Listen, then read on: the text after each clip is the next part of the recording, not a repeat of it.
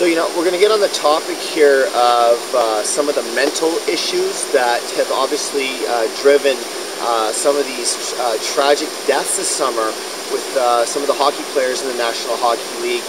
Uh, you know, obviously Derek Boogaard and Wade Belak and Rick Rypien were three guys that were obviously suffering some depression and anxiety issues, and my heart absolutely goes out to not only the deceased but the families as well and uh, I, I, I can relate with these guys uh, on a level where not only did I go through it uh, myself, you know, I wasn't at that level, but I, I, think what kind of sometimes even held me from getting to that next level was it's a very, very competitive market these days. Uh, there's a lot at stake.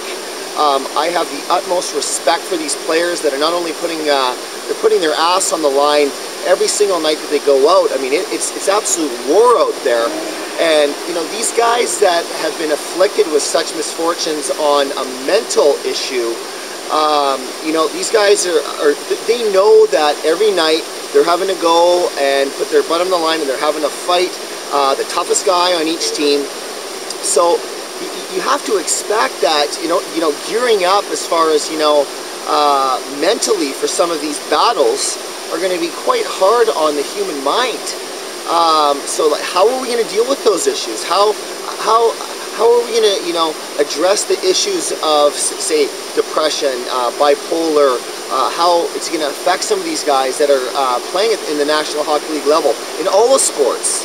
Um, you know, I think uh, you know having some psychiatric exams. Obviously, the NHL is going to be looking into all this now after all these tragedies that happened this past summer uh, which is which is going to be great. Uh, another issue I want to address is as far as, uh, as the headshots out there.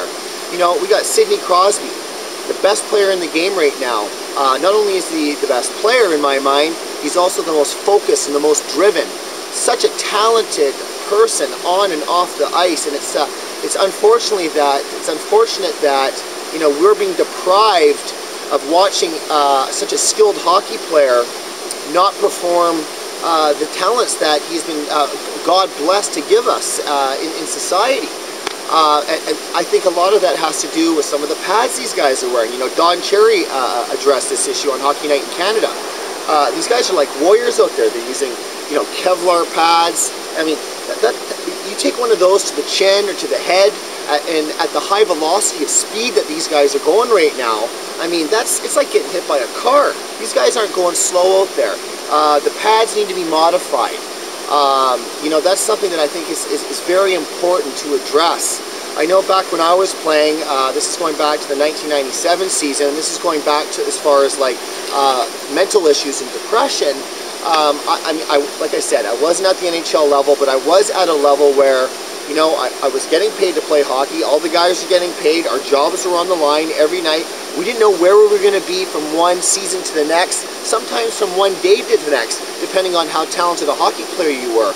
And I was living with, uh, with the tough guy on my team who was a very gentle soul off the ice, but he made his living with his fists on the ice. And, you know, he was a very, very depressed guy at a lot of times uh, because he was, you know, he was playing with broken hands, and you know, he would he would come to me and in tears sometimes, like you know, he'd say, Ryan, I just I, I can't just I'm emotionally drained, and knowing I'm having to go out there every night and you know put my bag on the line, put my heart and soul on the line, knowing that you're going to have to go against this top fighter on the team with your blood, sweat, and tears, and it's I realize it's a competitive market. There's a lot of money. It's such a big business, and we as uh, public and society, you know, we're paying for that. Do I think fighting should be taken out of the game? No, I, I don't think it should be taken out of the game. But as far as you know, the mental side of uh, where these players' heads are at, that's what needs to be addressed on a much bigger issue. Uh, the guy that I lived with, I'm not going to name his name, he tried committing suicide. He slashed his wrist, uh, God, I think it was 11 times, over 11 times. He slashed his wrist, there was blood all over the wall. And I found the guy, uh, you know, three blocks down the road, uh, uh hiding behind a churchyard, uh, a churchyard uh, ventilator. did he get help? No, he didn't get help. Our coach, he wanted him back on the ice, you know, a few days later. They took him to the hospital. They didn't do a psychiatric exam on him. They bandaged him up. Within a week, the guy was playing again. So, I mean, these guys are people. They're, they're people just like you and I. You know, um, they work very hard to get to where they have gone, obviously. But uh, what I'm trying to say to you guys here is that when we're watching these people, these beautiful people that have been given these God-given talents, we have to look at it at, at, a, much more deeper, deeper level. Okay? Uh, the game of hockey is amazing. It's, I think, one of the coolest sports in the world. I love it, and I, I, I want to see the game go in such a uh, just keep going in a more positive level. Uh, see the skill level keep rising, and, and I want to see those good players show the skill that we deserve to see, and they deserve to actually perform on the ice. Anyways, that's my two cents for today, guys. Uh,